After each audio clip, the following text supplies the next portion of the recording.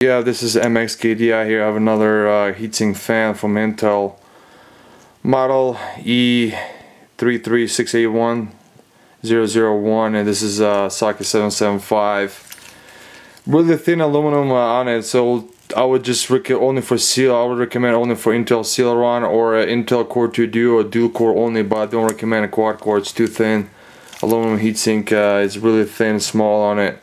I would only do dual core on here, that's about it, or Intel Pentium uh, dual core, that's about it, but uh, not a quad core, it's gonna be too thin.